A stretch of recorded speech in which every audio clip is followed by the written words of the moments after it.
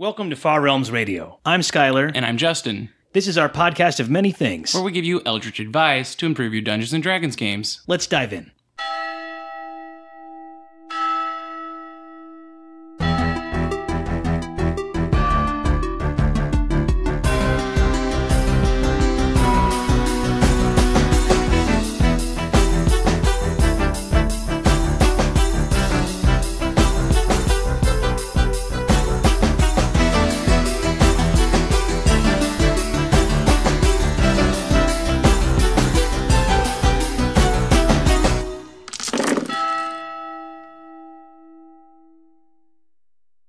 Welcome to Far Realms Radio. Welcome back, season two. We took a little break and now we're back. Yeah, Skylar did things uh, like driving around the entire perimeter of the United States. Yeah, you know, I just had to get it out of my system. I had to go and set a record, I think, and make that thing happen. It's one of those things you have to do. I, it's not really rational. 60 day, days on a motorcycle. 68 days, me and the wife. It's a lot of days without D&D. We did not kill each other, so it's testament to relationship, I guess. it is a lot of days without D and D. It an is a lot of days of interesting culture, and uh, seventeen thousand more than seventeen thousand miles. It's uh, Yeah. it's good to be back. I'm happy to be back. I'm Sounds happy to like be here tonight. it was a trip that took a, an amount of skill to accomplish. skill, a lot of endurance, Yeah. uh, fortitude, but uh, yeah, lots of skill too, and different kinds like technical skills and planning skills and logistical skills and yeah, all sorts of stuff, which Well, is what we're going to talk about tonight. I think Ability scores and skills that's right. in Dungeons and Dragons. So why don't we start with in a role playing game, what we have a lot of different terms, right? Taxonomies. We think we talk about classes and abilities and Attributes, features, stats. attributes, feats, skills, Mhm. proficiencies, more. You know, so what what makes skills skills in role playing games and in D and D specifically? Like why Right. what makes a skill? These are sh- shared concepts across a lot of these games, but you see them manifest differently based on the designs. So, in in D and D, for me, skills are essentially just like ability checks that are dressed up and categorized by actions that the PCs are going to take in the world, right? And you usually apply mods from additional sources and all of that. But it's more than just the ability check because it's not just your character's attributive ability, it's their proficiency that they've gained in a hmm. particular skill or vocation. Right, right. Okay. So skills are the ability check, your ability score, plus your proficiency, right? Which Plus is whatever mods plus whatever modifier, con- right? you know appropriate. Yeah. I mean, I basically think of it like ability plus proficiency plus context, whatever the context is. And the context looks like in this game, advantage or maybe a plus two bonus, or if you're looking to really reward a player who stacked it up a whole lot, then Hey, man. advantage and a plus five bonus. Good and- fictional positioning Right. should earn you something. The high ground. You have the high ground. I have the high ground, Anakin. a bonus on lopping off mean, somebody's Obi. Wan had that down. He rolled with advantage there for He sure. did. He definitely did. Uh, but I think that they're more in a game too than just that. You know, and across games, this one being right, whatever your natural a natural essence is, plus your learned essence. You know, like who, what you the skills you've learned, and uh, that's the proficiency. and That's what you do. But I think they're also a means of communicating between player and DM. That these are the things that we know together that this character knows how to do, or Exactly. that I'm going to do in the game. It's kind of like a, you know what that character is capable of, which does help you plan uh, on the DM side of the screen. Right. Now, you're a big one for history, so why don't you walk us through some of the history that you found for this? And I have commentary on second edition, Cool. but So for me, like skills and ability checks are really a big part of like what prevents you from just role playing yourself with all the same attributes, right? Like right. like if I play a character who's a talented blacksmith, like I don't know that much about blacksmithing. I've watched Forged in Fire a lot, so I know some things, but I don't know blacksmithing, right? And that's something that maybe you're not even going to role play through it. It's just you know you kind of hand wave it. It happens. Um, but back originally, we didn't even have like. It's really funny how central ability scores have become to 5e. Like it's Yeah. such a central mechanic. They leaned into it really hard. and it used to not exist. And at one point, it was just like an option rule, rule kind of thing in the appendix. Um, and now it's become this this core of the gameplay, which I think is really Right. interesting. Um, I think DM David wrote a great series about this um, on his blog a while back, and I've seen it from a couple of other writers. But it's like it's a really interesting evolution. So when the game came out, it originally had no skills, no ability checks. You relied mostly on improvised rulings, right? I mean, it was a combat game yeah, originally, yeah, right? essentially, it was right? a war It came out of war games, and so there just weren't a lot of tools for these zoomed in character situations a lot of the time, right? And Dave Arneson is famously known for like saying what rules. I just make it up as I go along, and of course Gary couldn't, you know, Gygax couldn't handle that. So honestly, the ability checks and skills as we know them, the way we use them today, didn't show up until 2000. And that sounds like really late for you know people who've been playing D&D for a while. I mean, in second edition, they had like proficiency that, that you could have. Then they had it was so clunky. It was there was weapon proficiency, and that made sense. Like you knew how to use these Yeah. weapons and this armor.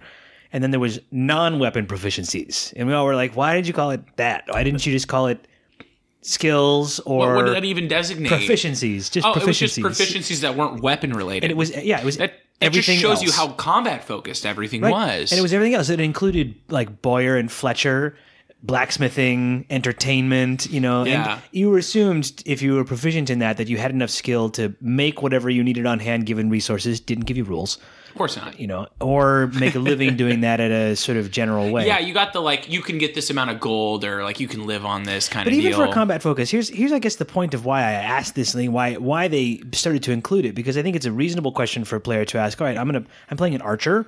Uh, I know how to make my own bow. I'm a ranger, right? Mm-hmm. I'm I'm like living as an elf in the woods. I should know how to make a bow. So what is that? How do I know? Is it that I'm an elf and I know how to do that? Well, what if I'm like Where a, does that come from? a human that's living in the woods? Do I automatically get that knowledge, or is it the training that I got? And uh, because I want to be able to, I, we're tracking arrows, so I want to be able to like make arrows. We're camping, guys. thinking. I'm out of arrows, you know. So whole, whole train of thought down how you could get there. So that's why I think it came about in that way. They're like, oh yeah, your proficiencies are based on your class. yeah, right. That lets you, if you want to be a shooty fighter, You then saw you like can. ability checks that. here and there. I, I think I could be wrong because I'm not super familiar with the original They 2E. did. They gave. They gave. Wasn't there like that charisma check sometimes in an encounter, and all of a sudden the monster was just friendly to you? Yeah, that Like, not in, not in 2e advanced. I didn't. Maybe that was an early one. I think that there were ability checks, and it, there was an example they used for if you encountered a monster and it wasn't immediately hostile. You know, Yeah, that like, was Let's it. say you Yeah. encountered a hobgoblin. It was like the one time you used your charisma.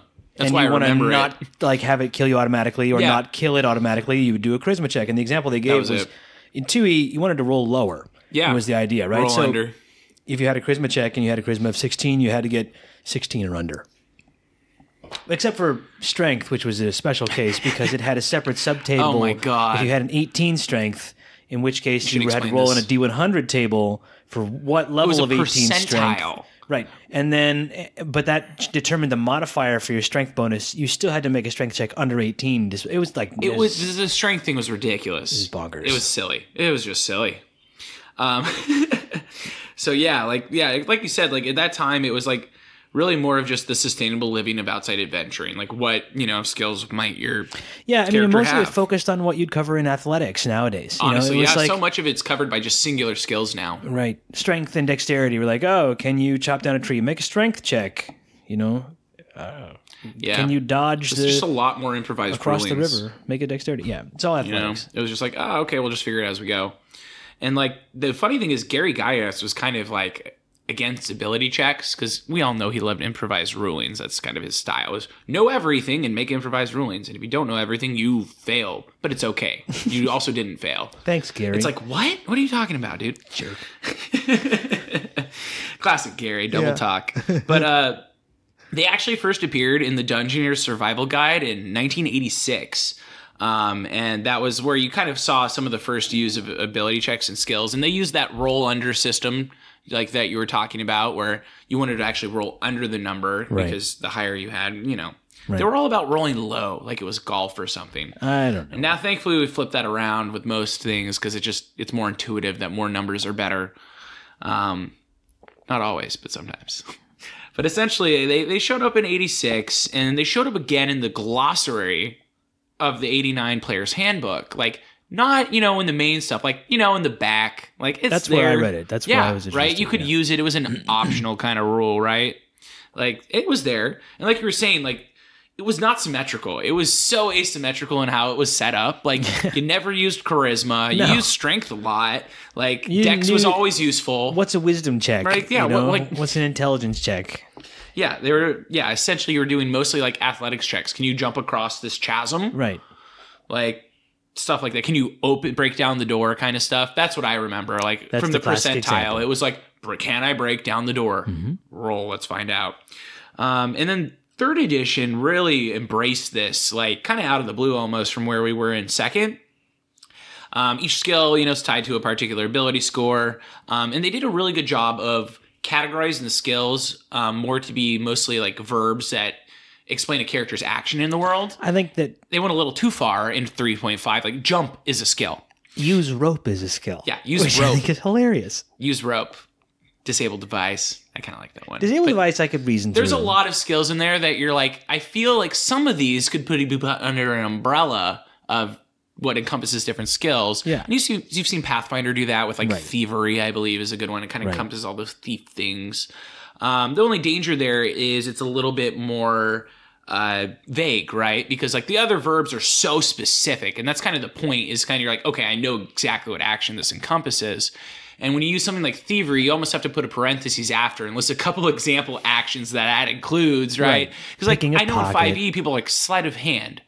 Okay, so what exactly does how far can I stretch this? Right. You know, like sleight of hand. Like okay, maybe I could just swipe that. You know, Can I versus just steal this? Can I like have a dagger magically up my like, sleeve right? somewhere? Can I just? Mm-mm. What does this include? What, how far What's can I his go with pockets? this? What's right? in his pockets? But that's an example of how the game tries to support that style of play. I mean, we all know somebody who played Skyrim to play Khajiit, so they could steal, everything. That's what you do. Mor- that's how you play Everything. Morrowind, right? Uh, all of the Elder Scroll games. I'm told. it's not what I did, I didn't know there was another way to play. but yeah, you know, and of course in third edition we had kind of that treadmill where the DCs of everything would have to scale to keep up with the characters. I think this was fine. Actually, just as a side note, I think it was okay. The Every flaw, now and then you'd have a certain issue like if you wanted to challenge the barbarian, you'd have to put a door in there Yes. that had like an insane DC. And it kind of sucked when like the wizard's like, "Ooh, I can finally take down a door." And it's like, "Yeah, no, the doors are made of adamantium now, so no, you can't." But the reasoning would be that the you know the wizard would blast it open or use a spell anyway. I mean, yeah, you have not. But you could also right exactly. But you could also you know customize your characters in all sorts of interesting ways. And yeah, there's an endless treadmill, and yeah, all that stuff. The problem wasn't that there was an endless treadmill. It was that to, because of the endless treadmill, they had so many different kinds of bonuses. And just hard to keep it was hard to add. You had to like do the on the fly math in your head a lot. It just took a long time to add it all up. Yep. You know, so You usually ended up just writing shortcuts on your sheet. Like Right. notes like, okay, if I do this skill, I have to add this much. Right, Exactly. And you'd have to update it every time. all the time. That was fine. It- honestly, the one thing I did love about 3.5, especially playing a rogue, is you got so many skill points. You did. And it was really cool to be like, yeah, my character's okay like combat or whatever, but he's so good. Dude, I got at, this. Like this one Yeah, thing. but whether need he, this- like, yeah, I got He's that like too. the greatest lockpicker who's ever lived, and that's kind of it, it would allow you to make the skills more customizably part of who the character was. Bards are like that. Because now we have backgrounds, but Yeah. a lot of the time the backgrounds doesn't really give that that appreciable of skills. You know, you're like, oh, you're a blacksmith. That's cool. You're never going to be crafting anything. Let's go kill goblins. right. Yes. Cool. That's that's what you used to do. Now you're an adventurer. Yes. You're no longer one of those plebeians. you forgot how to do that. Doesn't matter. yeah, it's it's fine. You have a world to save. yeah, exactly. Uh, fourth edition kind of took this almost too far. I mean, I think that fourth edition had some good ideas about skill challenges. Skill challenges were fun. and it, it was a new idea in tabletop gaming generally at the time. You know, like what Mm-hmm. does it look like if you have consecutive roles? How do you maintain drama between them? How do you map the success and failure to a How do you branching prevent path? that everyone roll situation? yeah, that was some of the things we saw that started to happen in third edition, but fifth edition has a, a real Mm-hmm. thing with. But um, uh, the thing I think about fourth edition skill challenges was it was a novel idea to build an extra system for players who didn't want all their crunch to come from fights, uh, which is one of the areas that fourth Yeah, edition it was a down. great right? way to highlight non-combat skills. I Right. love it as a player and a DM. I thought it was one of the best parts of fourth edition. I I, don't think the implementation was that good. I agree with that. I, I think that it basically is. It's just that they didn't structure it as well. Uh, They, they didn't in a classic. I don't know if it's just I'm the big dog in town, but like learn from the other games in the market. You know, The fifth edition did a lot of that, which is really great. But uh, you can see it in the design. but in fourth edition, they're like, we're going to re- redesign everything, and they and they learned from the video games in the market, and uh, the skill system just wasn't. I don't know. It didn't. It Yeah. didn't capture it. the I use But a then, modified. yeah, every, everybody would roll, you Yeah, know, and then yeah. and then there's like no guar- there's no chance of failure because you're going to get, of course, statistically, someone will roll high in an average size It'd party. be like a dramatically wow, so rare the the villain actually got away. You know, yeah, it's like almost yeah. It was really frustrating yeah, hard to plan. as for. a DM sometimes because yeah, you're like, well, how do I plan for the failure that's So not going to happen? I'm just never going to use a skill challenge if I, Yeah, know, right. like all right. I, I use a modified version of skill challenges in 5e, and like you can do it. You just got to put certain things in there, like you can only do. cards. You have to be yeah, you have to be proficient in the skill to like to make the roll, so that you don't Fruit always cards. yeah you don't want the active players always taking over. You know, I'm like oh I do this and I do this because you're gonna always toss a fruit cart in their way. yeah I I- yeah I also always there will always be a fruit cart in any chase scene ever. Doesn't matter where you are. Uh, I mean, It, was, it was a cabbage cart. It was a little uh, Avatar homage last time, actually. I think that I think that the the thinking about what skills can do, you know, i because there's such a broad ability, you know, the limit really is your imagination. It has made designers shy away from it in D and D for a while. You know, they fourth edition really was more tactically more. This is a fighting game. You know, like Mm-hmm. it was you- a like- combat simulator Like you often at, the, say, at its core. this is a game about fighting monsters and taking their treasure, And that's what it's about. and it's true. It's about murdering things and taking their stuff. It doesn't have to be just that, and skills are the way by which it's not. It is where the reward based reward loop is designed around those actions. Well, that's You what- don't get experience from anything the- except murder. No, no. th- There are you can get experience for other things. They give you they give you examples of how the DM can You reward can now, experience but for it's still alternative rules usually. For role play, Yeah, character yeah. moments. I mean, I don't or- think that's a bad thing. It's just you have to find a good systemized way to do yes, it. right, and, and it's You can't have less, shifting goalposts in a reward system. It's It, it requires a little more work. You know, Yeah. the the lazy person is the one who's probably going to just and I'm in this category. Throw a series of monsters and or challenges. Think about it in old three X terms slash Pathfinder. What's the CR of this encounter total? You know, and it's because it's easy math. You know, Yeah. all right, how much damage are we going to dish out? Probably. How often? How many hits is it going to take to take out this monster? And then you give them all of the experience for all of Mm-hmm. It because. The reward is the experience. That's the that's the that's, that's the key treadmill. reward in D and D. You know, like the only real lose condition is to die, right? To win, like your win condition is don't die, I mean, level up. And the assumption is we're going to win every fight that we're going to. Yeah, the heroes usually win. Yeah, yes, yes, yeah. Like you know how hard it is to make a party surrender. They won't do it. They're like, no, I'm going to braveheart this. I'm, I'm going to die before I go down. No way. So, um, but I think that uh, skills don't have that in in part because there always feels like there's some kind of cost, and part of the cost I think is that it requires more cognitive work. Yeah. For the players, you know, as we look through the skills, and 4e trimmed it down, and 5e has a broader skill list, and the skills are they don't get a lot of flavor text. They really know? don't. It's It- just it's almost to the point where sometimes as a DM you're like, how do I adjudicate this? Like, what would this fall under? Because some of them are a little narrow.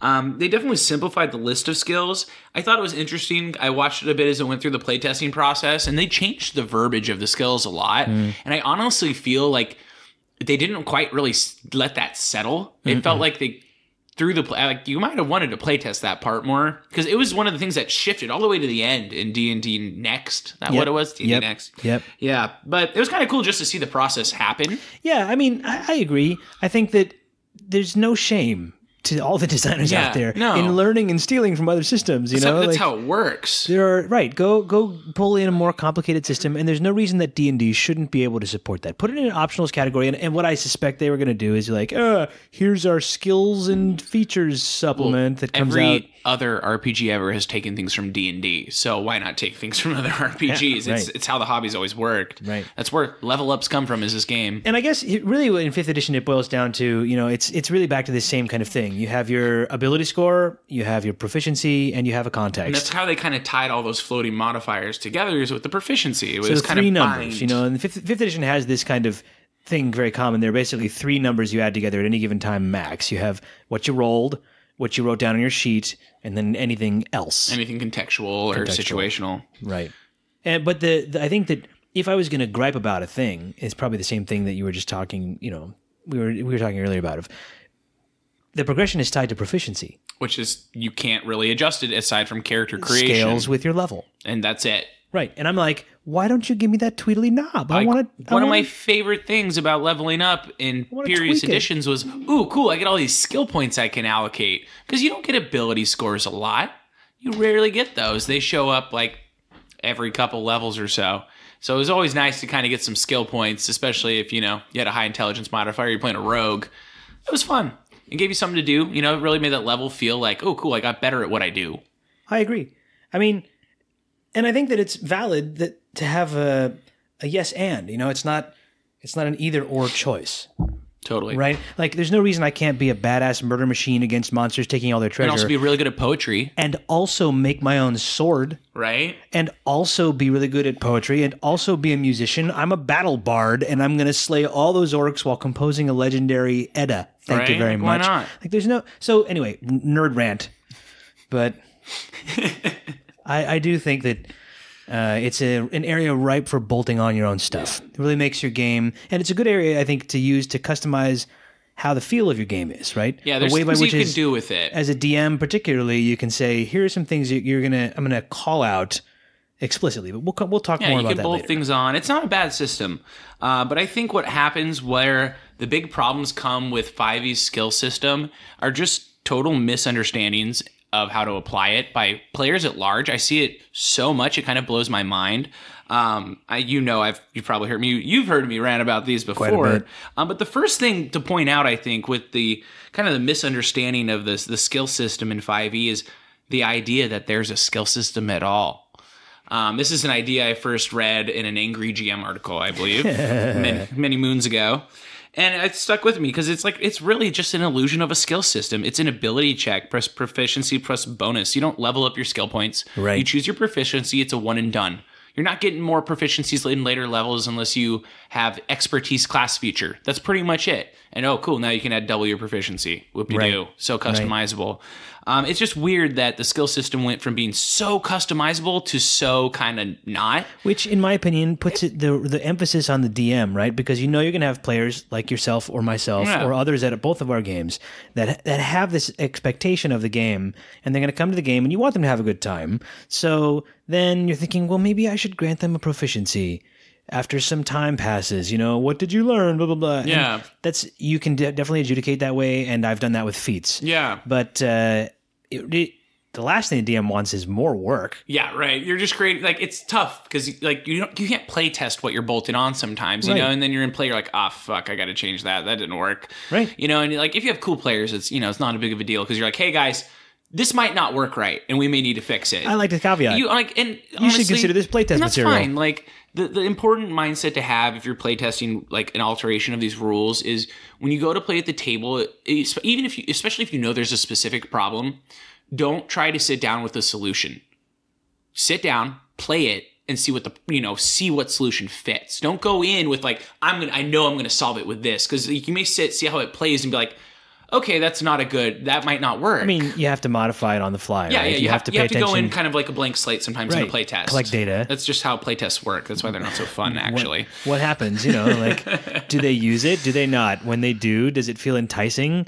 Add more enticement until they start using Yeah. it, and then It's- throttle back. Sometimes it's a feel thing, you know. You got to see how how it works at the table if it's clunky or not. Mm-hmm. Um, but aside from you know the proficiency bonus, you can't really improve improve your skills or classes directly with, or excuse me, you cannot improve your skills directly without class or feat investment. That's pretty much it. Right. Like those are the only level up choices you're going to get unless you boost an ability score mod. So they like they kind of soften this with the fact that there's universal DCs and your proficiency bonus improves with level, but it doesn't feel like anything you have agency in choosing. It's just D&D, D&D has always suffered from this. A D&D character does not become something else. They become a better version of what they already are over and over and over and over and Right. over. And So- you choose that at the start. this is one of the interesting things. You know, you look at Warhammer, for instance, Warhammer Fantasy Roleplay, and it, it inverts that and it, it turns it on its side. Really, is the right way for it because you pick a profession. You don't have a class in that game, and this is one of the D and D competitors, right, of mm-hmm. yore and still today. And you have that class as a profession, and that levels up some of your abilities, which you persist through professions. But after a certain level of, prog- of progression in that class, you leave that class and then enter a new profession. You get a different one. You become instead of a burglar, you turn into a knight, or and then maybe after that one, you have another one. You turn into a priest or whatever it might be.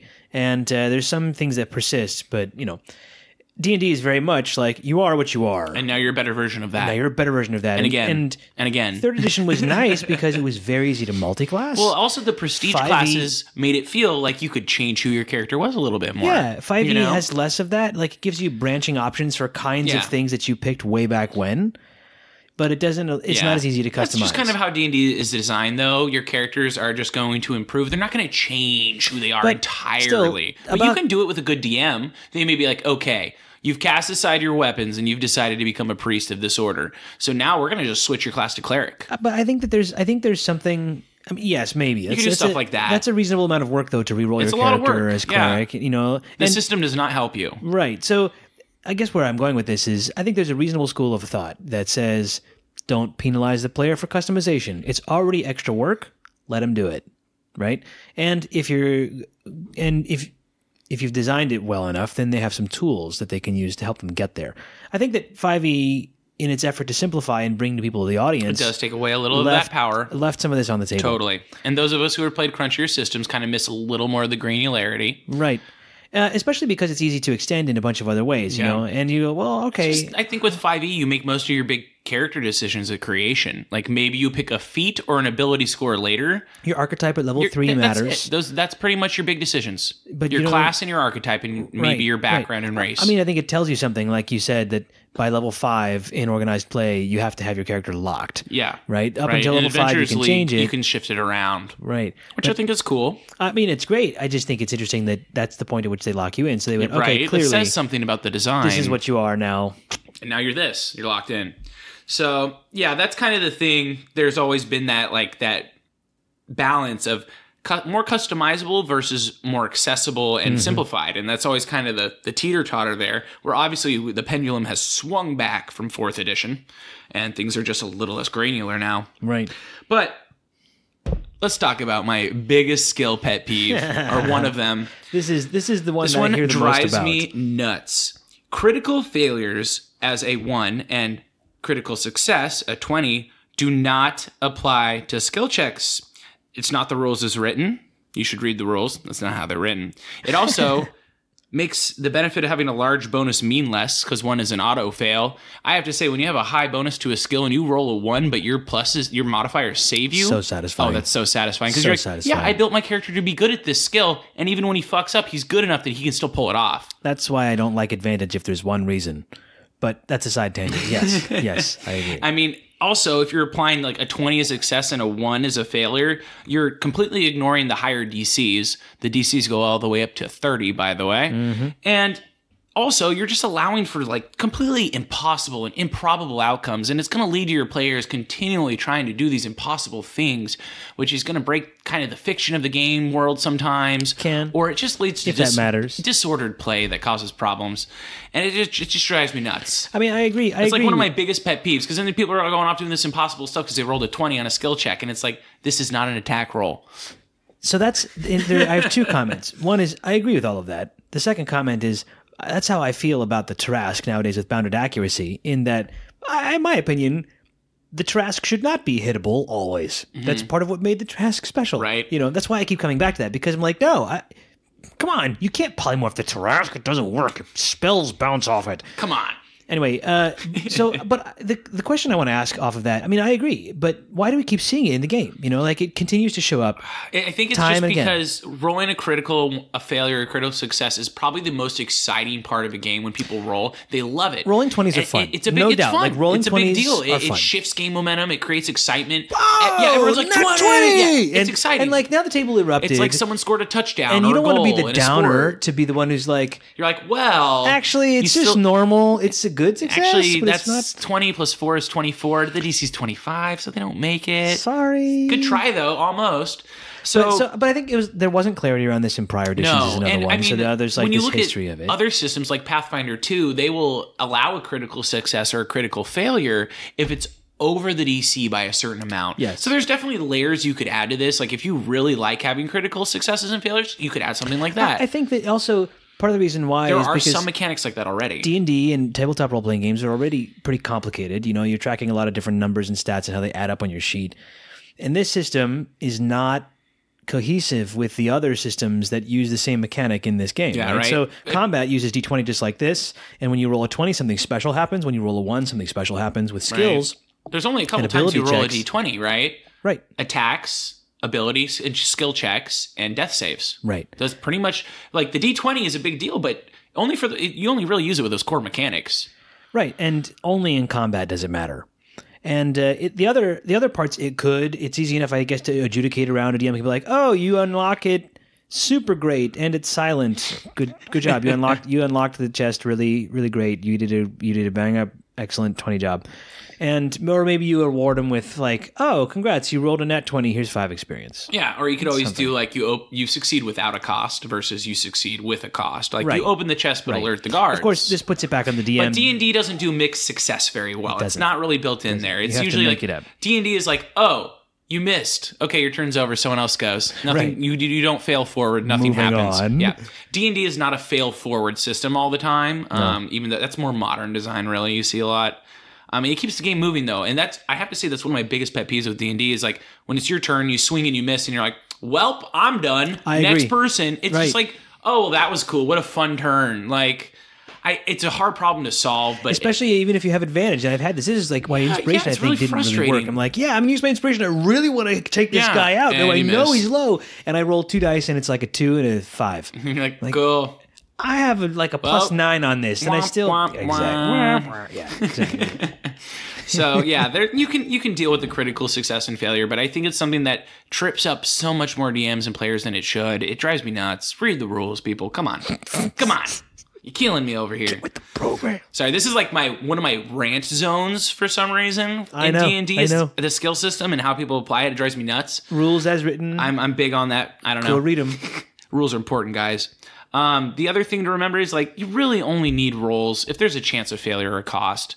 Don't have players rolling if there's no cost to failure or there's just no chance of it. What's the point? I think that I've seen that happen People like to roll. It's fun when there's a D as a stalling technique. sometimes. Some yes. DMs will use that, like, give me a roll while they yeah, like yeah. think They're like you're flipping through a book, like uh, uh or just like in your mind, like, what is what I want the outcome to Yeah, be? I mean, we know we as DMs we all have those kind of stall techniques. Like, hey, could you roll this check for me? Or hey, could you look up on your sheet what your bonus to this is? I use these all the time, but I think that it's a far stronger choice actually to do what I I don't do as often as I wish I did, which is to just go, uh, I don't know, turn to a different player. What do you think happens? right? And if you have the right players, you can do that. You can throw them a little narrative control, and it can be pretty cool. Uh, especially if you know, like you're like, okay, this is a failure, this is a success, right? Right. You got to be careful with who you hand that power to, because you always have those players who are like, ooh, a chance to throw the monkey wrench in the game. Yeah, let's see what happens. This will be cool. That's part of it. I mean, we have a player at our table that does that. You know, it's He's good at it. It's fun. Sometimes when you don't die. it's fun, but not always for when it doesn't result in your death. um, the other thing, so that's something to remember is like you don't always need skills. Like something I love to do is if a character's proficient in something, you know, I love proficiency. and I'm like, okay, who's proficient in religion? Just that character. I'll be like, okay, because you spent years studying in the monastery, I totally you agree. immediately recognize this symbol as this, and you don't just say like, oh, hey, because you're proficient in religion, you automatically succeed and you know this. Give it a little flavor. You have to point back to the decision that they made that's getting them the payoff, right? It's a decision they made at character creation, and the payoff is happening now. right. So that's where you kind of point that out, like, hey, remember when you made that decision? Well, it's paying off. Good job, man. Exactly. I mean, I, I love proficiencies. I've always loved the options. They, they feel like feats, but different. Yeah, You know, scalable. scalable. And they we've grow talked with you. a little bit about this. Like, you know, it's like, all right, you take skills and you take feats, and what's the difference? And I One's think more that an action, one's more in attribute or a feature. proficiencies I think of as somewhere between the two, right? Skills, you have them, you're proficient yeah, with them, you've you take so an action good with at this them. skill, it's almost become an attribute for you. a proficiency is something, yeah, you've focused on this. You You, become know? so good at this, it's become part of who you are. and there's a broader set of that than what the skills in D&D 5e E have. And feats are things that you achieved. You have this. Mm-hmm. It's a feature it's a of who quality. you are. Right. You, it's an attribute of yours. yeah, You know, but um, I I think that it's easy enough to modify. definitely, definitely. Um, the I think one of the big problems we run into now, and it, part of this I think comes from video games where it's more point and click, um, is that players will declare skill usages I want to use my disabled than- device on that thing in the yeah, room, right? Rather than room, like on declaring their action, right? Because you it's I actually haven't seen this at the table. I, see you've this- seen it. I I haven't. pick it up because it's like something that grates me a little bit. And I know certain players who do it, like even at our tables, and but they do it in a way that's like really respectful, you know, because it's like that old school play, like, "Hey DM, can I roll a spot check?" And I'm like, they at least ask for permission, you know, which is like cool. Hmm. That's fair. It's like okay, yeah, sure. Um, like, but it's very different when people think in skills versus actions, right? Because back in the day, before skills, you had to think in what do you do, right? And then the DM's like, okay, what skill fits this, or like adjudicate? How will I? Adjudicate? I mean, that's how I think of it. That's uh, the same. Like Me too. And, and every single time, Fiction I'm like, first, please. My, my character, my character looks around the room and then I think smells the wind, and I like I, I describe a little scene, and then I roll the die. But that's just, I think, Mm-hmm. I mean, I know characters or players like to think in terms of skills because they want to use the best skill. They do Right? also- they want to succeed, and they're like, "Ooh, can I use this skill I'm good at?" Well, and also they want to have a skill in something maybe that they don't Yeah. know themselves. You know, like and, and, I- and I've argued against myself one way and the other for this in both cases, Mm-hmm. right? But I think it's totally fair to say, all right, my character is. Uh, I maybe I'm an atheist player, Mm-hmm. and my character is a religious character, and I want to have knowledge in that stuff that I don't know much Mm-hmm. about, or um, a magic character. None of us have magic powers, Correct. so like they would know about God, that stuff that I, I wish. I did. Or I want to play a mad scientist who is f- from Yeah, I mean that's what skills do. They cover knowledge and things that you don't have yourself. Which is why I was talking earlier about like that's I think part of the conversation. so sometimes, yeah, you may need to ask the DM like, "Hey, is is this skill that I have is it applicable here? Could my character take an action like this?" Because I get it, because you may not know what that skill, what actions sure, go with or that. even like DM. My character's proficient in Arcana. We have a lot of strange glyphs around here. Do any of them trigger in And my character's do- mind? Right, you can do that. Yeah, exactly. I just think it's always good to kind of like, especially if newer players, teach them that the skills are tools to resolve their declared actions. Like, Mm-hmm. you don't even have to worry about the skills. Just tell me what is your character doing? What do you want them to do? And the DM's job is to say, oh, okay, you want to do, you're declaring this action. Well, here's how we're going to adjudicate it with Mm-hmm. this skill or this rule. And obviously, you know, players, it helps to understand what skills apply in what situations because you want to plan, you want to play well. But You have another big pet peeve though about it's so oh my god, don't even get me started. This is just the warm up. So yeah, big for me is the skills are the tools used to resolve your declared actions. Like don't go and I want to make a spot check. It's just like say you want to look around the room. Why don't you tell us about yeah, like a passive perception versus looking around the so room? So, that's a great why- point. This is one that drives me nuts, and I get it because when we added uh, passive perception was kind of the influx of this to the Third game. edition, Third out. edition, passive perception came around, and a lot of DMs were uncomfortable with this, and some players were too because they felt like they were getting cheated out of a roll. Um, but there is a big difference between passive and active skill usage. And if you can master that difference, you will be able to apply skills a lot better as a DM mm-hmm. and you'll make your players feel more skilled. So let's get into like the difference here. Like, for example, performing a religious ritual is an active religion check, right? Whereas thinking up religious knowledge you have would be passive. You Mm-hmm. can't think harder to remember more. It doesn't work that way. Um, noticing things when you Unless walk you- into unless- a room. Unless you're Sherlock Holmes. Yeah, of course. And you know, got a mind palace. Hey, maybe you have that. I don't know, and that's be different. You That gotta, should be but that should be something yeah, different than you just gotta adjudicate differently. um, whereas you know, to use perception as the classic example, per- passive perception would be what you notice when you walk right into a room. Just like when you walk into a room, what do you notice? Like instinctively, right? Whereas active perception is you are actively scanning that room. You're looking around. you're combing the bookshelf. You're, not You're- just yeah, like walking in and what do you sense? It's that yeah, you're, you're actively, actively, looking, right? perceiving. And so when passive skills first came along, a lot of people are like, whoa, whoa, whoa. Like you're cheating a roll, you're just like adding 10 plus the mod. What the hell? I, I think that there's some context to add here too, though, around specifically the knowledge piece. You know, a, a character should or shouldn't know everything. Just a caveat. There's a big caveat, which is, let's say that you're making a knowledge check in the middle of a fight. You can easily say that Mm-hmm. Yeah, you're, you're, distracted, you failed. Yeah, you blah, can blah, blah. flavor it up. So you know, But use sometimes, common sense, yeah, of course. But sometimes context is everything, right? Context yeah, it really comes down to that. It really boils to because it's really frustrating when like you have like a character who's like really well studied in religion, Right. And like doesn't remember the name of this super common god that everybody's worshiping that he clearly knows and Right. should know. It just it breaks the fiction a little bit. It's like.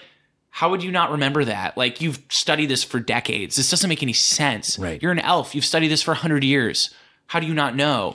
And like, yeah, just had a brain like, fart, guys. obviously you can use context and things like that but it's it, that kind of drives me crazy with the with you know having unnecessary knowledge checks in there it's for most of the time knowledge is going to be passive um, and Right. it's you know you're you still probably either know it or you don't. Yeah, And right? You think about this this other part of the mechanic you were talking about earlier of a skill system. You really are only going to roll your skills when there's some success or failure. Yeah risk, right you're not going to roll So without failure being a possibility What's i hope the not failure for a knowledge check? You know, is it like well, Jeopardy? know and then you get to the I give like, credit to anybody who can do a D&D game of Jeopardy where Yeah, right. it's all about knowledge checks. and yeah and sometimes with knowledge checks you get the everybody rolls you know and like Yes. so often i'll limit limit it to who's proficient in This is one of the trade-offs in, in bounded accuracy, right? Right. Like everybody has a pretty high. good shot. You know, it's all within a D20 range ish, Yeah. so somebody's going to roll high and somebody's going to get it. it, statistically they're likely to get it Which means if you want that player to be special, so now we have the rules that are not Right. serving your your table dynamic. You want that player to feel special for taking that investment in character creation, then you need to just say, "Don't roll. Here you go." You know this because and give them a reason. Flavor it Are up. you though, proficient? Right. Okay, you ha- then you have this Yeah, power. Totally. And like the other thing with having all these unnecessary rolls when things could be passive is it's going to slow the game down because everyone's stopping to roll. Like in the middle of your exposition, oh, I roll spot check, and it's like I'm telling you what you you passively perceive when you walk in. Just let me finish. Which or you have to right, I know. Which is so like frustrating. It's like just bad bad player Disjoints manners. your exposition a little bit. there's there's a I, there's a theory on this that you can make your exposition more interactive as you do it. Mm-hmm. I've never succeeded at this. it's you know? I could never do it. the I've I've seen it happen where the description is like a co-description, you know, and you it's like it's more like improv where Mm-hmm. Okay. you, where you the DM will set a scene and then different players have the opportunity to add components to the I mean, scene. I've seen you do this in limited in limited ways before. You know, like yeah, like, I, mine pulls most, mostly from Fate, but uh, I've seen you pull it off and, and things. So it's just like, what do you notice the most about this tavern? Like, what sticks out to you? And like just throwing little bits in narrative Mostly I do that control. when I'm like, I don't know what the Yeah. fuck this tavern has or in you're it. like, I'm like, just you, gonna make you have an idea. Jackie, you walk in the tavern, you know, so This, this what does it have in it? they probably can't break the game with this narrative control. I'm gonna let them do it. right, basically. Little do you think. uh, they'll always find a way. I do Yeah. think this is something that the game should provide But yeah, it tooling definitely, for. it, it definitely like when everyone rolls, it kind of pulls the spotlight away, from those characters who invested in those skill proficiencies. He's like, but I'm the cleric. I know the religious stuff. Why is everyone rolling for this? I mean, so much of the game is exploring a room, and it, there, It is, isn't it it? really is. Like so much of it is just like whatever room you're in, you explore it and you see what's there and what you encounter there. It gives you weird habits when you go to rooms in real life because you're like looking around. You're like, I wonder if there's a trap door in here. They What's- say- does that bookshelf spin around? They say that Gary Gygax was a master of describing the dimensions of a room. I I would assume I so. would assume so, I would not be surprised if he But- was. So you know, the, thing is that the skills. I guess this really boils down to like who has spotlight. The skills Yeah. that, that are for exploring a room quickly dominate a party. You know, the people who are exploring the room are like, okay, I'm going to explore everything, and then the ones who didn't invest in that are like, um. Yeah, I'm just a barbarian hanging out. what can I move or fight? Yeah, is there something to kill? I'll do it. Everybody gets to participate in combat, you know. So it's just a matter of how to Yeah, you- th- how to cast some spotlight without giving too much. you can set right? the So you DC can keep higher is another going. thing, right? But then you have the chance of failure increase there. So That that's a good way to avoid everybody Yeah. rolling at once. You know, like Yeah. if, if so we're doing you walk in a room, you know, you say, okay. Um, who has perception? You know, who's trained in perception? Oh, you notice this, or oh, you you, you get the chance to roll. Yeah. and then other players be like, well, I I probably want to look around too, and they start looking around, and everybody starts rolling. oh god, right? Or you get like the one player low, rolls low, and then everyone's like hyper suspicious and paranoid, and they're like using the ten foot pole to poke on every tile of the floor. I, am very much of a different camp with this. I, I usually, when when there's a call for a perception or I suspect there's going to be a group roll, what I do is ask for everybody to roll anyway. I'll either go one way or the other. Give the players the information. You know, if, if it's like an obvious thing, just give it to Mm-hmm. Yeah, them. just give them Don't make info. them roll. Yeah. Here is maybe a secret little bit of information. I mean, the game is about uncovering secrets. Yeah. If there's a bigger secret, give them the small I one find a free. lot of DMs hold on to their information too much. Yes. like you won't get those big moments unless you give it away. But or the another way to just easily adjudicate around this, I think, is let all the players roll. Let them all roll. They're enjoying it anyway. Whoever gets the highest just total. use, just use that one. and the person who invested in it, Yeah, both they get it. Right. You both are special. yeah. You can just do something. Everybody like else that. Doesn't ev- notice, and you, I'm trusting you to play your character. They don't know how way. you're adjudicating. That's fine. Yeah, right. But yeah, that like kind of drives me nuts when people like get super suspicious because like you search the room and everyone rolls bad and they're like, oh no, what if there's Now like there's got to be something there's in here. traps Guys, in I need to rule it out. I need to rule it And out. And you're looking at your dungeon map and you're like, there's literally nothing in this room. Like I've had times where like I've described a room and they're like, oh, I don't trust that book, and I I'm like, and they're like, I investigate the book, and I'll just be, it's a mundane book. There's nothing special about it, and there's still they'll be like, no. No, there's definitely something about this. Oh no, that statue over there. How do I know it's not a gargoyle? I fought a gargoyle before, and you're just like, it's a regular statue of an elf, but yes, you hit the statue. It is made of stone. Players will so easily I mean, latch on but to I'm totally herrings. that player, right? Yes. I'm always I'm the one going through with the ten foot pole. Like, no, no, no, guys, we got to clear the room. I think that every time I encounter those, you know, I, I, and this is a skill itself to develop, pun intended, I guess. Mm-hmm. Those there are definitely those players who will seek to zag. Yes, Then and that's a good example of that. And skills are that way too. DM, I'm going to use uh, perception on this room also. DM, I'm going to try and sleight of hand this guy's pockets. I'm going to sleight of hand that guy's pockets. I'm going to sleight of hand that guy's pockets.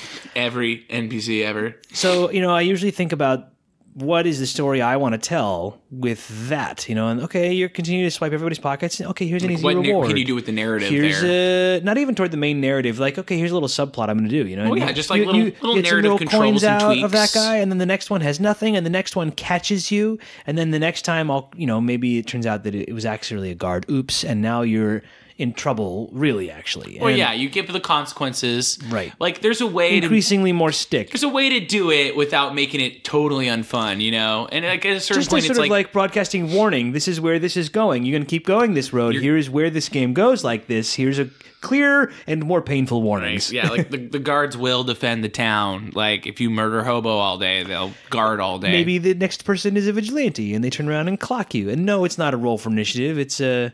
And then also, you know, sometimes players. This is my pet peeve. Is when players will escalate when they flip into video game mode. Yep. You know, and they're like, and point, okay, point and click. you grab somebody's purse and he catches you, and then he turns around and punches you in and the they're face. like, I, I murder them. and they're like, I pull out my sword and I kill him. yeah, and you're like, this is a civilian. Okay, pause. Pause. Pause. Pause player to player this is a co-op game we can go full murder hobo now that's a different Just game that i mind- think everybody signed up for so why don't we just make sure we're all on board for murder hoboing or not You can. The law enforcement will come for you. and but usually the pulling on the when when i when i It's not Assassin's Creed where you can just hide for five minutes and they stop chasing the assassin. then then it becomes clear that the player is like uh, you know i don't i don't actually want to turn it yeah you're Yeah, right they're like, oh, oh, yeah. Mm-hmm. there's consequences to my actions. JK, rewind.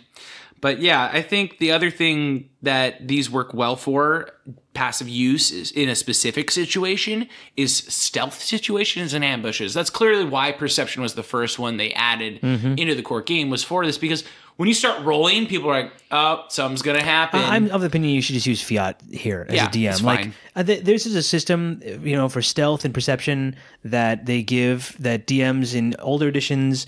There's still a history of, I think, used to track like who gets perception and when. And elves got it a little bit differently Yeah, incentivized. yeah. I think especially poor, for those magic doors. poor behaviors at the table. I, I think that it's a better DM choice for running the game practically at the table most of the time to just have it be fiat.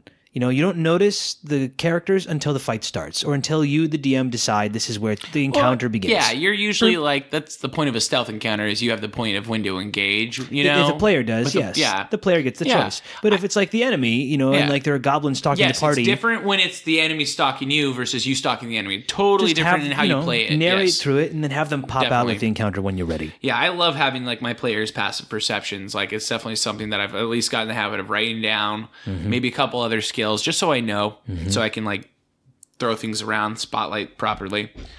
Uh, but like the thing that to understand about passive skill usage, is aside from like making it easier to kind of plan the sessions and do information management, because if you know their perception, you're like, okay, they'll probably notice this, or oh, with this passive skill, they'll have no problem doing this.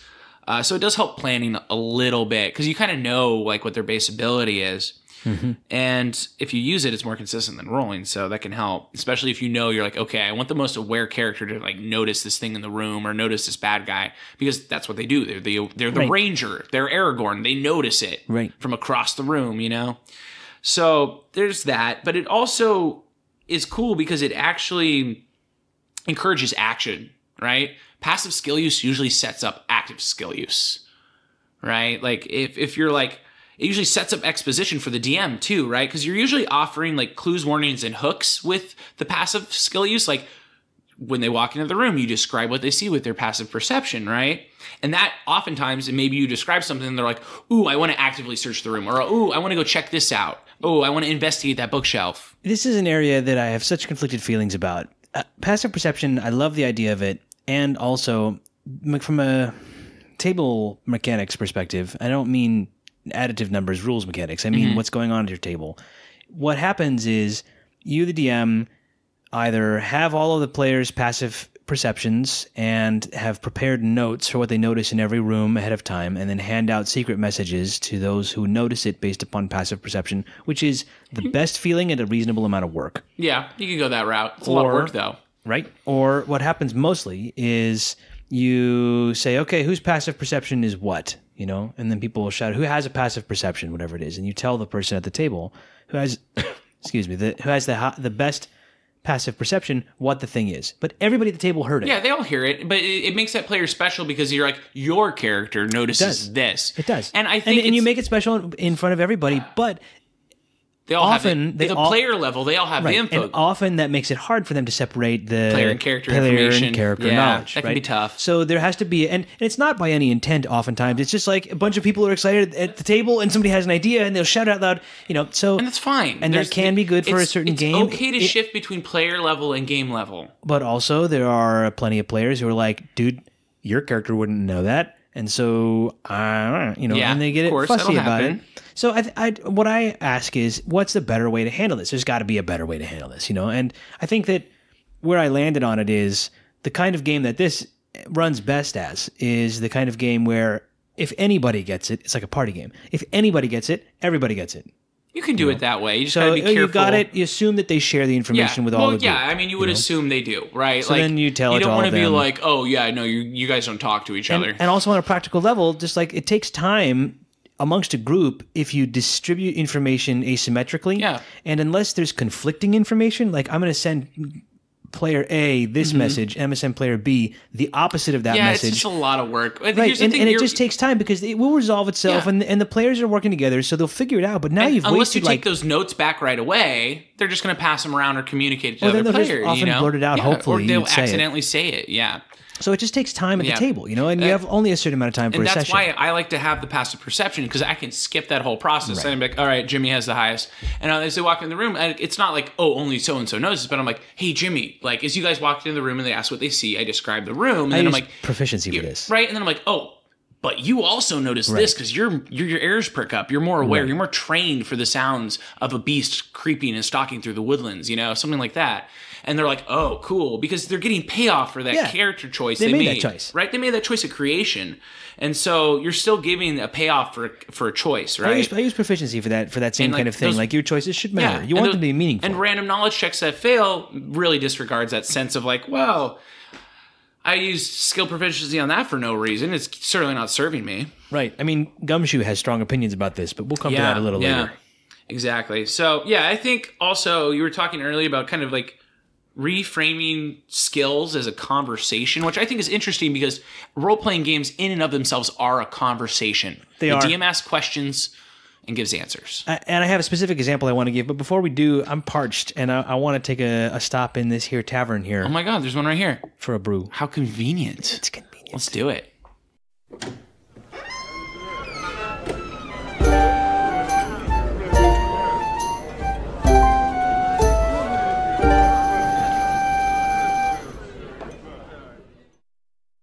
Welcome to Tavern Talk, the part of the show where we toast to you, our awesome listeners, and we uh, talk about a quick brew that we have. So this week, I feel like we should tell the story of this beer. Uh, All right. Just as it came into us, you know, it, this beer is Hobgoblin. It's by Wychwood Brewery. It's an English ruby beer. Yeah, it's an interesting brew. It comes in a tall can, the one we have. Mm-hmm. You brought these over to here, to my place, more than a week A ago. week over a week ago. They got shaken up a little bit. A little bit in the not, backpack. Not, not just in a Not a backpack. ton. And then it sat in my fridge for more than a week because, you know, we were saving it for this.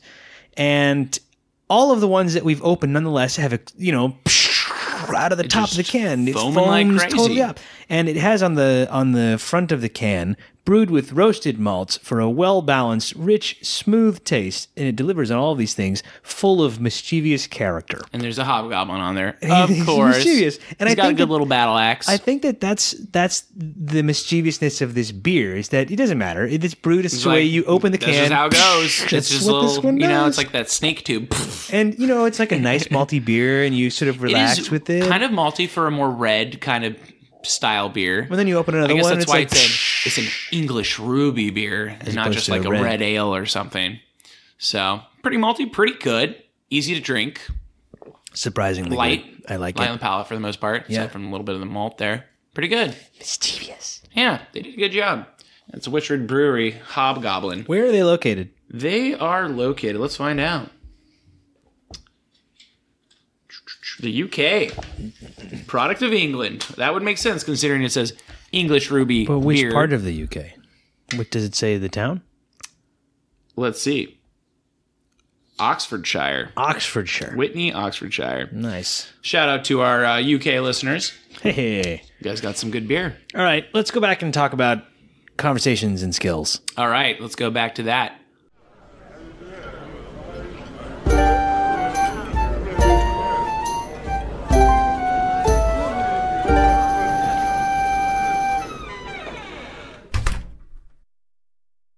So for skills, I think I like to think of them as a conversation, and I learned a particular model for this uh, in a video game I played. You probably played it too, as many of our listeners probably have as well. Uh, some years ago, it was Knights of the Old Republic, the first one. The first one, okay.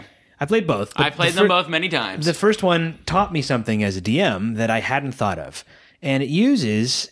If I recall correctly, a version of the D20 system to do it because It does, D20 was. Star Wars back then, or Star Wars was D20. So it has ties to D&D. So, you know, you have a character built off of a D&D base game in Star Wars land and there was lots of dialogue options, you know, you usually have mm-hmm. three choices and there are different branches that would lead you down. But they used abilities in a way that D&D didn't provide, you know. So in dialogue options, you could use wisdom or perception or depending on for different kinds of things, it would open up a new dialogue yep, choice. Yep, if you your know. skill was proficient enough. Right. And in later versions, they would show you that it was there, but it'd be grayed out if it wasn't, if your skill wasn't high enough. Similar to like later dialogue trees you would see in games like Mass Effect. Not quite the same, right. but you know. So in my mind, this what what I learned from this is like, oh, you know, that's a fair point. Like all of the things that you have a bonus in or a proficiency in or anything high, any investment that the player has made in that, the game should find a way to reward. Well, And- yeah, definitely. In some, this- or at least give you the opportunity Right. to And, and in this sense, it. for skills, you know, in mostly social contexts, this wasn't in combat. It wasn't anything like that. There's not a lot of specific rules for handling those social situations in D&D. it was it was a great implementation of it and i was like oh yeah so it is basically like a conversation and i have a new conversation avenue and mass effect expanded on this later you know but it, it was basically you have you took proficiency in this social skill that gives you more options when interacting with the characters and it was very video gamey like oh i have it's, this it's a dialogue tree when all is said and done. which if you look at a conversation that two people have sitting on a bus it's a dialogue tree To a And- degree, yes. and it maps very very clearly just to a like more where, complicated. where does the conversation start what are the range of options you know what are the topics they're going to discuss and what's the So outcome someone, going to be Hey, how you doing? There's only so many answers to that question. Right. Uh, and you know, if you look at it, it's like okay, the weather, the environment they're immediately in, the person over there. I'm afraid of you. Wow, you're pretty. You know, like there's a lot. It's very complicated, but the Sims boiled it down pretty effectively. When the Sims, you know, like they had interests and they would meet and they would talk, and there was a chance if they had similar You see the interests little like they the would up and down plus heart thingy. pluses. You know, Yeah. So this is a kind of conversation. It's it's an exchange of these two different, you know, It's a good way to look at it because you know I'm big on the role playing game as a conversation. Right. That's why I like DMing because I just get asked questions. I don't have to know the answers. So I immediately think great. of my role as the DM when I when I think of this because I go, you know, okay, skills and the game itself really is an exchange in a conversation of back and forth. You do this, I do this. You do this, I do this. I think this, you think that. We do this. What's that? You know, Yeah. Declare action, adjudicate, and resolve. Declare action, adjudicate, or ask a question. You can ask questions too. Adjudicate and resolve. Right, exactly. It's like it's it. a very structured conversation. So that applies to everything, you know. So in a certain sense, from this perspective, everything in your character sheet is a quote unquote skill. is Yes. a thing you can use and most of action. them are for murdering. like Yes, eighty percent of that sheet is for murder. much of it. Like if you or or not getting murdered. A lot that's of it for pretty that much too. most of your sheet.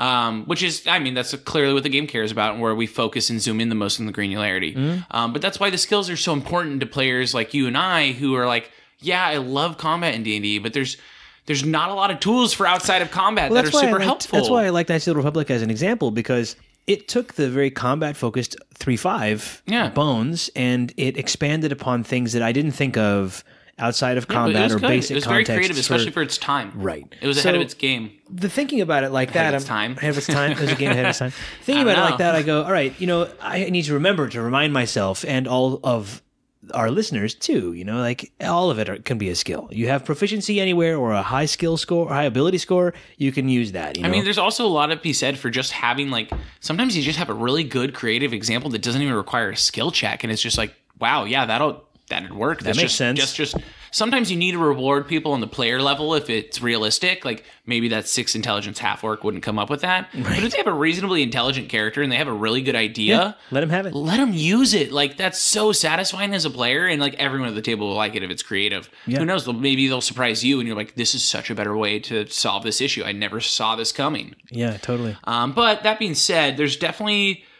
pros and cons to the uh, 5e skill system as it currently stands. A lot of both. and it's important because D&D acts as like kind of the base role-playing game still to this day. It's It kind of like the like the Rosetta Stone of the role-playing. flagship of tabletop like, RPGs. if you know role-playing games, you probably know what D&D is and have an idea how it works. I'd be surprised if you know you- tabletop role playing don't. games and don't know what D and D like is. Like, maybe you haven't played it, but you at least know what it is, Right. right? Because it does affect you know the rest of the industry and the trends that it sets and things like that. So. Uh, with the 5e skill system, there's there's some good pros, right? Like one of them is skills always make characters unique. It prevents you from just role playing yourself. Right, you have to pick a background and you have to pick skills, and some of them are things that I guarantee you don't know. Yeah, and it's great. Like you need that. You're right. Yeah, I think that uh, it also helps you save time and like this is one of the things I love. It allows you to just sort of fast forward past parts that aren't really interesting. Foraging. yeah, so foraging for You're food. not going to describe them like crawling around looking for mushrooms at the base of the tree. Maybe you do like twice. you do when there's like an encounter coming out of it. You do, or and maybe in a new biome. You know, Right. you're in a new biome. Actually, they're myconids. Surprise. right? You know, but I think that you're right. Like mostly, it's like okay, and and crafting uses fit, fit in Yeah. the same example profession as well, right? Yeah. These were like off screen, off yeah, camera. yeah. It kind of lets you do those off-camera kind of moments a little bit. In a game like D and D that doesn't work into phases at all, that's pretty helpful because you can control that compression and expansion of time. I think it does work in phases. It's just not. it does. In, They're not formal. They're just not formal. right, and and not The in the way pillars. in the way that other games Yeah, they're not too. as formal. It's a it's a newer thing in game design to be like, no, there's just these set phases. And D and D players like myself, when you look at that, you're so like, no, why can't I just freestyle DM all the time? And then when you do it, you're like, oh, I get it. This just creates the chance for those different conversations for downtime. You know, it's gonna be more structured downtime, which is important. Mm-hmm. It does. It does have it. you need the it's just- downtime for the uptime to they just don't call it out in D and D up and down. explicitly. Yeah, they don't. They don't. but and all I of your rest why. time, all of your travel time, Yeah. All of that. You know, But a lot of other games structure that more. So do. it's something to consider. Um, because when we look at the skill system, it rewards character building the most, right? Like D&D has moved away from this from 3.5 where you really got more mas- more reward for mastering the rule system Mm-hmm. um, and you know players were really empowered to choose how they interact mechanically right you could be like ooh i'm going to be really good at jumping or i'm going to be really good at animal handling Mm-hmm. and kind of the ability to choose that as your character leveled up instead of just making that choice at the start because sometimes you make that choice at the start and you're like i'm not using this skill at all Right. like there's certain campaigns where survival is just not going to be very useful Right. and then you're going to have other campaigns where it's make or break so it just depends on the game that you're in. You don't always know, like just even with a good session zero, you don't always know at the start. Um, so that's another pro of like a skill system is that you know you got to choose how you interact mechanically with the game world. I think that's really important. I think that it totally is. But I don't think 5e's is adjustable quite enough. It's not. It, it, it rewards your initial thought, but exactly like you And said, then it puts you, you on rails. Later on down the road, you're like, I'm kind of, or even if you just like liked it back then and you kind of got bored of it later, you know, it doesn't give you an Mm-hmm. option to continue uh, making it interesting. yeah. But it can lead to, I mean, it gives you another chance to roll. And one of the things that is core about D and D, and they lean into this pretty hard in fifth edition, is rolling that D twenty is what they hang it around. Rolling is fun. It is, especially when you roll a twenty, which is Yeah. I think one of the reasons why sometimes that critical success in, Right. in skills gets persists applied because, because- people are like, well, it's inconsistent, and I like rolling twenties anyway. and sometimes the DM's like, everyone's so excited. I'm just going to give it to them. Exactly. Like, I don't want. I don't want to. Cru- I don't Ah, want to crush 20! it. Right. And you're like, guys, guys, it's a skill check, and they're like, oh, thanks, Captain Buzzkill. Right. Like, oh, I guess do we make it? Did I meet the DC? right. But that's the big thing is universal DCs make it so much easier to improvise adjudication. Like you're just like, okay, like this is kind of hard, so it's a twenty. You know, like Right. That's It- the it's one easier nice for thing. adjudication. It's it's not as it, there's a there's a, there's an existential issue with this, which is sort of like you know are there are there things that are just like universally hard, Right, Or yeah, yeah. is it scaled? You It know? doesn't work perfectly in a real world But it makes sense. it it makes it easy for running it at the table on the fly. But it's it- much it easier. works for that great too. with bounded accuracy. which, I think is which I think is sort of the crux of Five E is that it's streamlined. It is, They, and, and that's part of why it brings so many people into it and why it's so good is that even though it has a lot of I'm going to call them warts, uh, it uh, it's, not a bad way of putting it. it well you know it has witches and hags and Yeah, trolls. it makes sense. It, it still brings people in and it is easy to access, and so that it really shines in that area. You know, but Definitely. I mean, it's the most accessible version of D and D we've ever seen, and it's doing great for that reason. I think is a big, big reason. but there are still some cons with how we you know things you might want to bolt on differently or, or change or extend in there the skills. There are definitely you know pitfalls to a, any system is going to have pros and cons. That's just how game design works. You can't build something to do everything, right? Like a game has to do a thing well. Like it has to be designed to do something. You, Mm-hmm. there is no true universal game system, even though GURPS would like to be. GURPS tried. There's things that it can't do well and things that it does well. So when we're looking at the cons of the 5e skill system, I think the problem, one of the issues is it makes player decision, ingenuity, and details of game world matter less. And this is something you will hear from older players who played before skills were so Mm-hmm. focused because they're like, well, back in my day, we just had to come up with creative ideas. And, Yep. and so you got more rewards on the player level, right? Because we were coming from war games where skill and, and tac- tactical decision making needed to be rewarded. And so you saw more of this reward for player decision and player ingenuity. And there was less of that, oh, but like your half orc might not come up with that solution kind of stuff. You didn't see that quite as much. Also, you couldn't play half orcs back then. There's also that. That's a great point. but yeah, you get less rewards on the player level with the skill system sometimes. You I know, mean, yeah, totally, you do. But I think you don't have to engage. one of the interesting things about the cons, and this is this is. Uh, it's something I really care a lot about, but uh, for this one in particular, of having limited skills, is that players have blinders. They have blinders about what the race they can play, on. about what classes can do, Yeah. about what skills can I do. agree.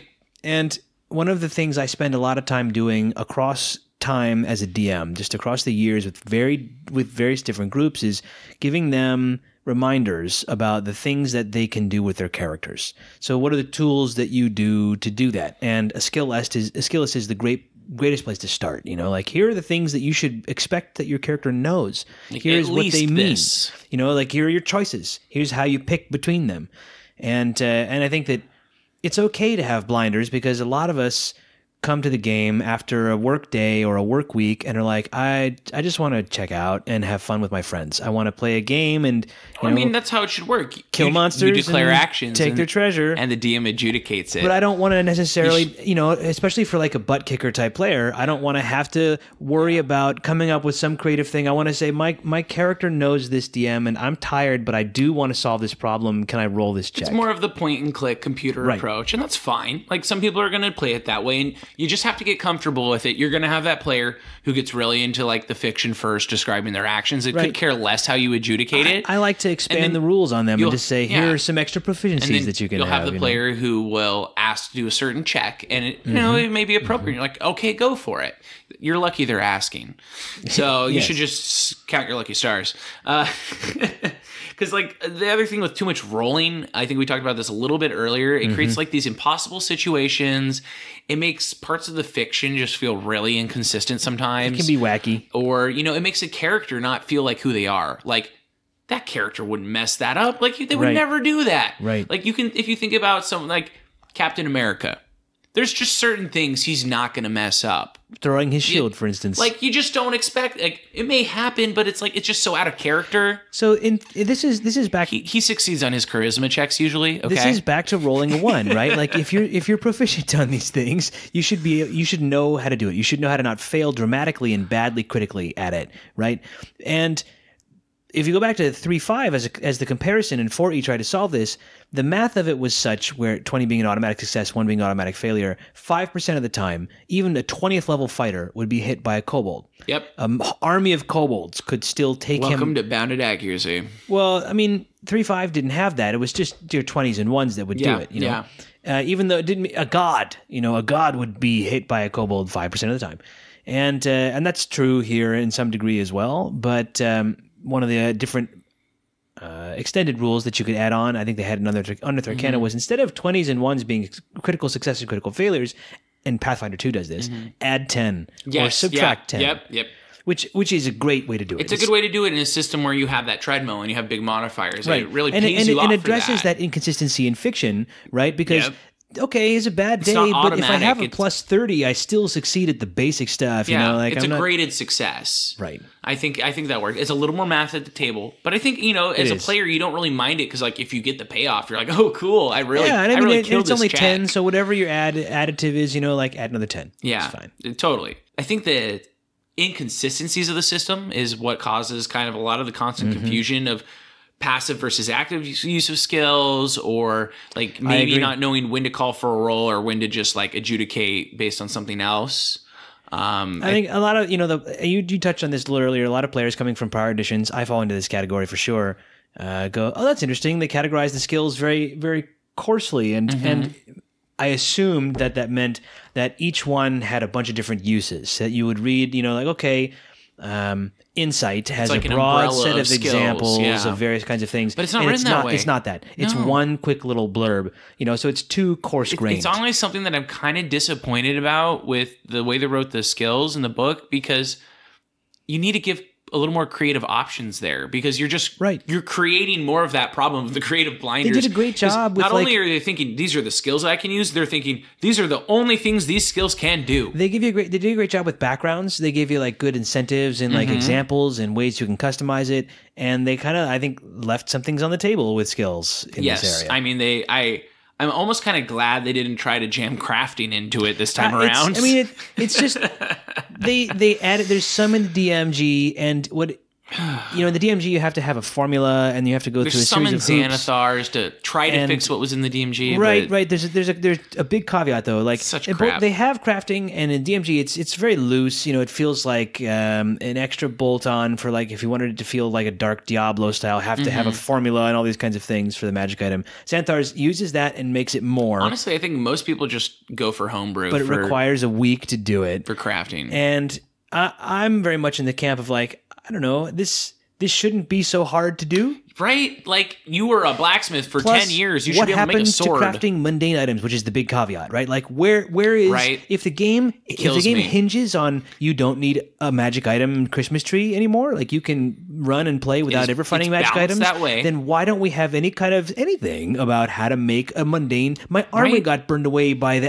the the dragon's acid, you know, the green dragon's acid breath. Okay, well that's fine. I, I've made a lot of armors before. I want to make in my character's background. Why? How do I make one? You know, what is it? What does it need?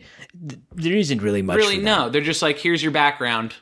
That's it. Like you get this one ability and some skill prof, Right. and it's like, okay, like I'm pretty sure I could fix my own leather armor, but whatever. So I think that, like I said, these are these are good areas to, to bolt on extra stuff. You know, exactly and you know every system with skills is going to have pros and cons and it, it really comes down to that sliding scale of how complicated do you want to make it versus Mm-hmm. how streamlined and accessible and the better the design the more you can get those two to kind of meet Mm-hmm. but there's always going to be a cost with that kind of design right like either on the player or the system there's going to be a burden put somewhere So, I mean, let's talk about it in different types of games, how it manifests elsewhere. You know, so Pathfinder is, I think, a good, easy example because it, it's a common ancestor of D and D, and it, it fixed a lot of the stuff that people complained about in three five. And I think that with years of iteration, it got very, very good. it works really well and it got very very complicated and I had this moment at one point with Pathfinder skills and all mm-hmm. of its different customizations that I thought to myself, this feels how like how I remember GURPS. But then I thought about that more. A and little I was bit like, with how the, each skills had such an um, umbrella of skills just under so many customization options. Yeah, it was so broad. But then I thought to myself, no, GURPS was worse. Yeah, it was. It definitely was. There's So- certain things GURPS is really good for, and, you've some things where it's like, meh. You've read through Pathfinder 2, so what did Yeah, they? And they I- deviated big time from D and D. They're like, we're not doing D and D roots anymore. Pathfinder 2, I think, did a very good job looking at like what you called the warts on 5e's systems in some places, and just like we're just gonna cut and burn this one off. Hmm. Um, then went to the game designer and dermatologist there. Uh,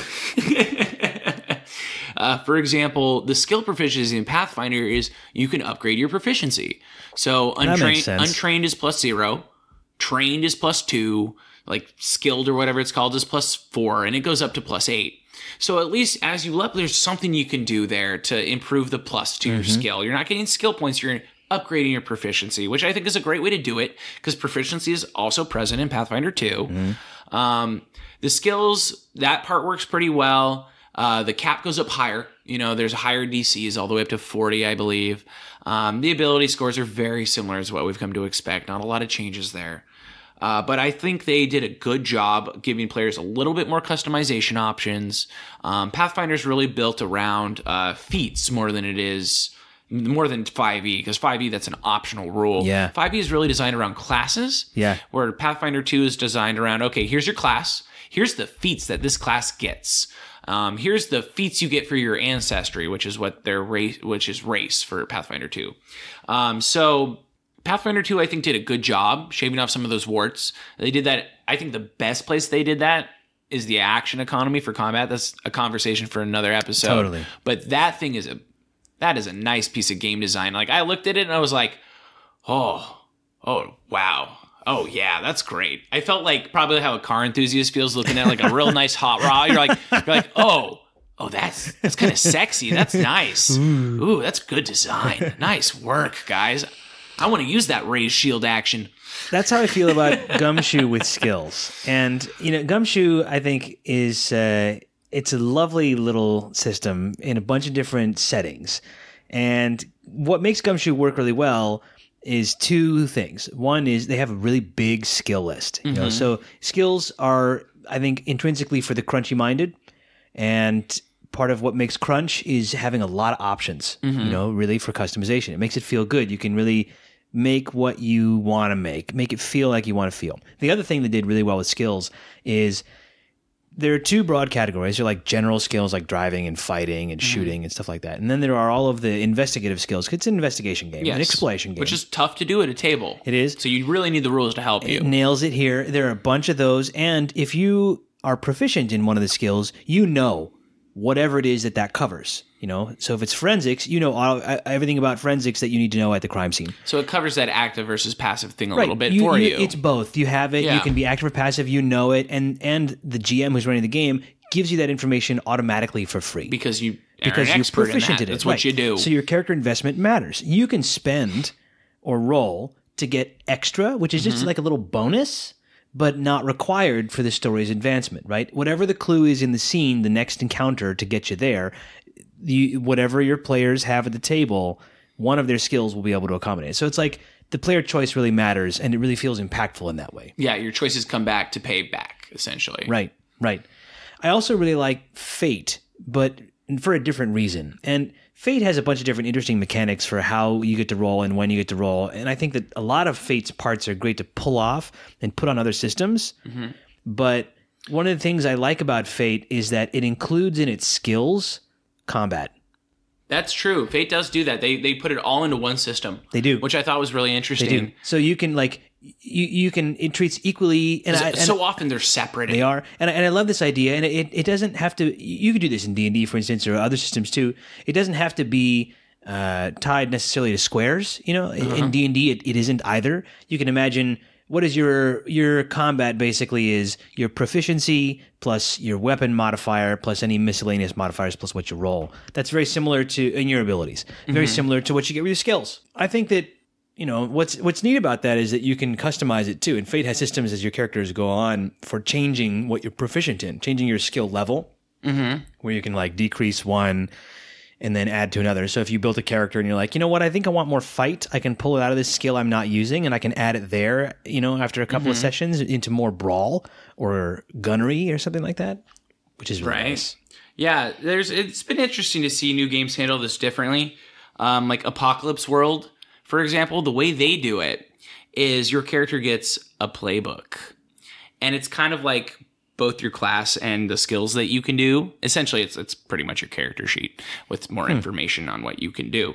Um, but it's, it's it works a little differently. Like you have your stats, like their stats are different. They're cool, hard, hot, sharp, weird.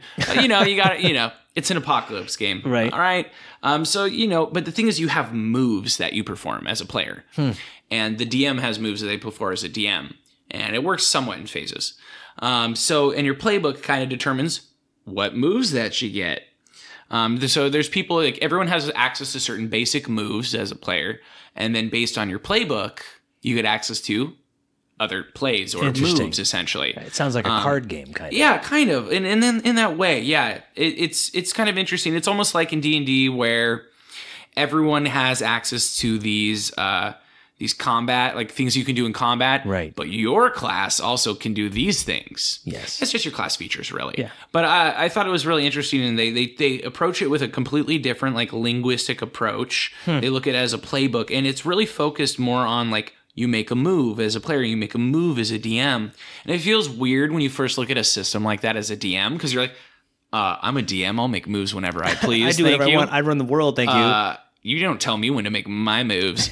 but it actually really works well in that game as a conversation. Yeah. Because that's what it creates with the skills like we were talking about earlier. well, Blades in the Dark has that. Blades in the Dark too. does it works very similarly. Like Blades in the Dark has a lot of similar design philosophies kind of to Apocalypse World, but yeah, it heavily focuses on the game as a conversation. Hmm. And it also heavily focuses on like the group, not the individual.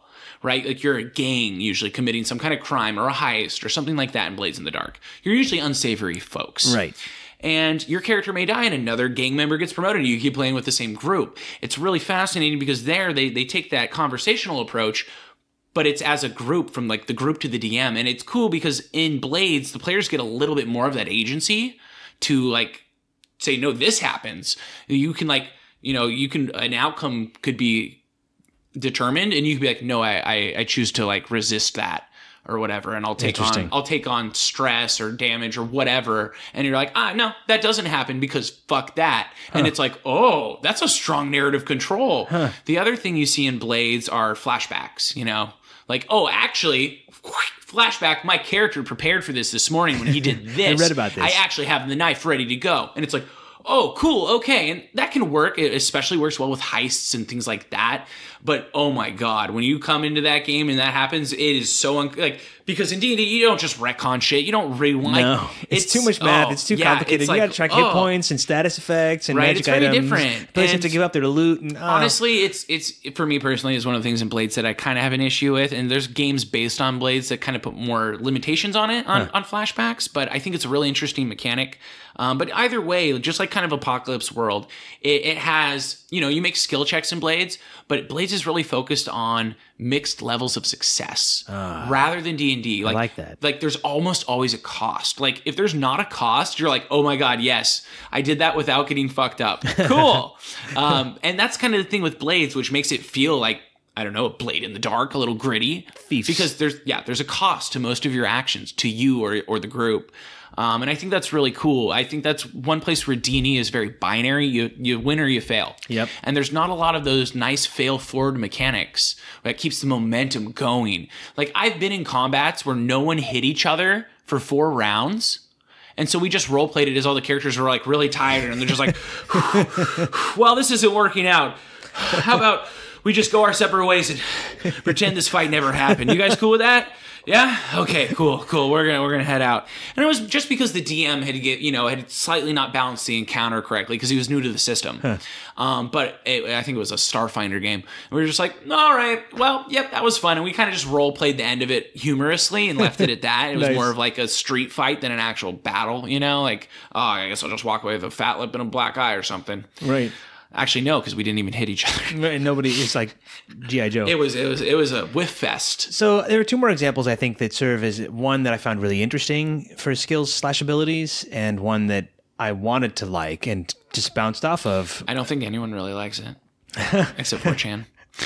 So I, I find Empire of Dust really interesting. This is an indie game. This is an from- indie game that it can 2008. be pretty hard to find information on. It You're not going to find much you, on you, it. You got to dig around. There are PDFs Yeah. you can get online, and uh, it, it, but the crux of it was uh, this was just after third edition was basically done, and Mm-hmm. 4e was not going to be open gaming license, but everybody had D20s they wanted to roll.